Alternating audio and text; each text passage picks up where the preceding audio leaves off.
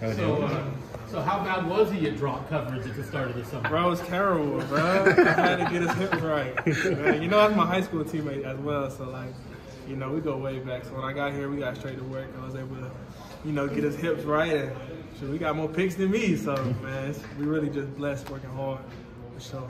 So it, that ability to do that to disguise defenses, how useful is that when, when you're dropping him back in the zone and the quarterback's just not expecting that? I mean, it, it definitely it caused havoc for the offense. You know, you've seen our D linemen uh, dropping uh, 10, 15 y- uh, yards down the field.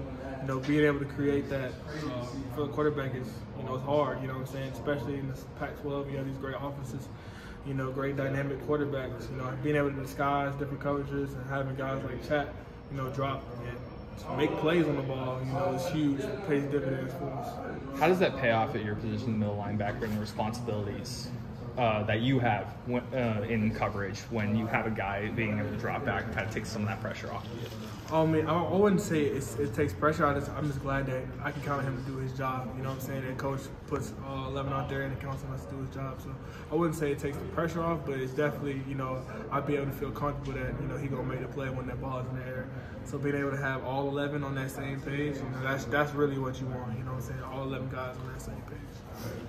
When you look at this Washington offense, what, what do you guys have to do?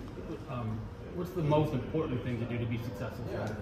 um, do our job. You know what I'm saying? Somewhat recently they've been uh, more balanced offense uh, than usual.